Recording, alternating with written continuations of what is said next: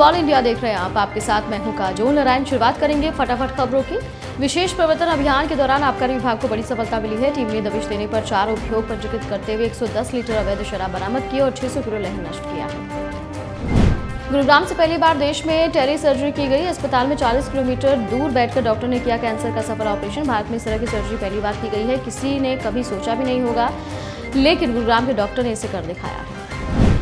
सेना के जवान हरि सिंह का पार्थिव शरीर उसके पैतृक गाँव पहुँचा राज के सम्मान के साथ सेना के जवान का अंतिम संस्कार किया गया। लोगों ने उनको नम आँखों से अंतिम विदाई दी है। सैनिक के अंतिम संस्कार में सेना के बटालियन के साथ पुलिस के अधिकारी पहुँचे। बता दें कि जवान हरि सिंह पंजाब के बठिंडा में तैनात थे।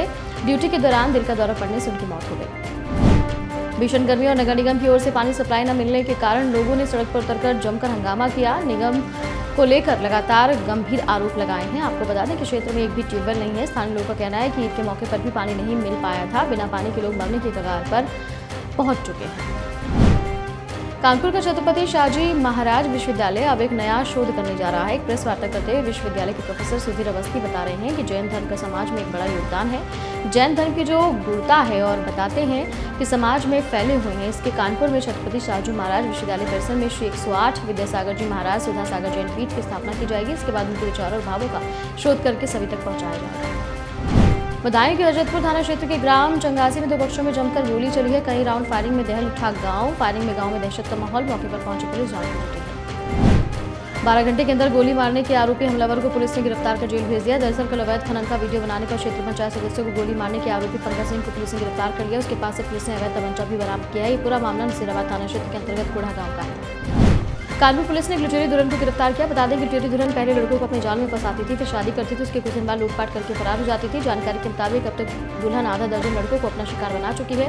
पुलिस इस मामले का खुलासा करते हुए लुटेरी दुल्हन सहित चार अन्य आरोपियों को गिरफ़्तार कर लिया, जिन पर उचित कार्रवाई कर जेल भेजा जा रहा है। कानपुर के रिजर्वाग पुलिस को एक और बड़ी सफलता हाथ लगी, जिसमें पुलिस ने आठ दर्जन वाहनों के साथ दो शातिर वाहन चोरों को गिरफ़्तार कर लिया। प्रेस वार्ता करते हुए DGP central R S Gautam ने बताया कि बीते दिनों कानपुर के रिजर्वाबाद थाना क्षेत्र के अंदर आर के नगर निवासिनी अंजू दीक्षित ने पुलिस को सूचना दी थी कि उसके घर के पास से उनकी स्कूटी चोरी हो गई, जिस पर पुलिस ने टीमें गठित करते हुए ऑपरेशन त्रिनेत की मदद से 150 कैमरे खंगालने के बाद वाहन चोर संजीव बिन्नू और उत्कर्ष कश्यप उर्फ़ पंडित को गिरफ़्तार कर लिया। जिनके पास से चोरी स्कूटी सहित अन्य वाहन बरामद किए गए हैं। दोनों ही कानपुर नगर के ही रहने वाले हैं। डीसीपी ने बताया कि इस घटना का खुलासा करने वाली पुलिस टीम को पुरस्कार दिया जाएगा। एटा ज़िले के जसवंतपुर थाना क्षेत्र के नदराल गाँव में मोबाइल टावर पर जा रही अटेंशन लाइन की चपेट में चार मासूम बच्चे आ गए। अटेंशन लाइन की चपेट में आने की वजह से चार बच्चे झुलस गए। विद्युत लाइन की चपेट में आने की वजह से तीन बच्चे बुरी तरह से झुलसे। आनंद फानंद में चारों घायल मासूमों को अलीगंज स्थित अस्पताल में भर्ती कराया गया, जहाँ डॉक्टर्स ने प्राथमिक उपचार के बाद तीनों गंभीर रूप से घायल बच्चों को सेफई मेडिकल कॉलेज रेफर कर दिया है। पुलिस ने तमंचे के साथ फ़ोटो वायरल करने वाले अभियुक्त को गिरफ़्तार कर लिया। अभियुक्त का सोशल मीडिया पर तमंचे के साथ फ़ोटो वायरल हुआ है। पुलिस ने अभियुक्त कब्जे से एक अवैध तमंचा, एक ज़िंदा कारतूस बरामद किया। अभियुक्त के खिलाफ सुसंगत धाराओं में पुलिस ने मुकदमा दर्ज कर लिया है। अभियुक्त कार्रवाई के बाद न्यायिक अभिरक्षा में भेजा गया। बलरामपुर पुलिस ने देहात कोतवाली क्षेत्र में हुई लूट की घटना का खुलासा करते हुए छह अभियुक्तों को गिरफ़्तार कर लिया। साथ ही दो लाख चौबीस हज़ार सोलह रुपए, चौरासी हज़ार छह सौ रुपए रेडमी मोबाइल को बरामद किया है। वहीं इस घटना को करने में कुरियर कर्मी ने साथ दिया। पुलिस ने सभी को गिरफ़्तार कर जेल भेज दिया। डीएम राजेश कुमार त्यागी ने अमरोहा जोया मार्ग पर कैंप लगाकर शरबत पिलाया। इस दौरान डीएम ने अपील की कि इस तरह की सेवा देने के लिए लोग आगे आए। इसके साथ साथ समाज में सेवा भाव आपसी प्रेम बना रहे। राहगीरों को गर्मी में ठंडा पानी मिल रहा है। सहारनपुर देवबंद क्षेत्र के गंगदासपुर गाँव में मजदूरी के रुपए मांगने पर दबंगों द्वारा अनुसूचित जाति के एक युवक से भरी पंचायत में उठक बैठक लगाने का मामला सामने आया। पूरी घटना का वीडियो भी वायरल हुआ है। जो जनपद में चर्चा का विषय बन गया है, आरोपी ने जाति सूचक शब्दों का इस्तेमाल करते हुए युवक से पैर भी पकड़वाया उनका वीडियो भी बनाया है। मामले में पीड़ित की भाभी ने पुलिस को दी है। कासगंज ज़िले के कुशीनगर सोनी टीवी के सुपरस्टार सिंगर टॉप फाइव में पहुँची। परिजनों ज़िले में लोग काफ़ी खुशी देखी जा रही है। खुशी की सफलता के लिए परजन ईश्वर से प्रार्थना कर रहे हैं। खुशी रियलिटी शो जीतकर अपने कस्बे और जनपद का नाम विश्व में रोशन करें। परजन खुशी को पढ़ाई और सिंगिंग सिखाने के लिए दिल्ली में शिफ्ट हुए थे। कुशीनगर के पिता दिल्ली में ठेला लगाकर छोले कुलचे बेचते थे।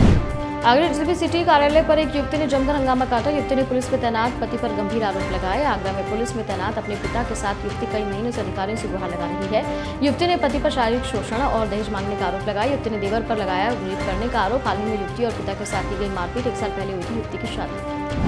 सोमवार को दिल्ली पुलिस ने सरगना और महिला को गिरफ़्तार कर हीरे बरामद किए हैं और टप्पेबाजी करने वाले गैंग के नौ सदस्य गिरफ़्तार किए गए। इस दौरान उन्होंने घटना में चोरी, लैपटॉप और चार्जर बरामद किया। है इस चोरों के गैंग में शामिल दो शातिर महिलाएँ थी। दिल्ली, एनसीआर, यूपी के कई जिलों में टप्पेबाजी की वारदात को अंजाम देते थे। मिर्च स्प्रे, टायर पंचर, गाड़ियों पर ऑयल फेंक कर वारदात को अंजाम देते थे।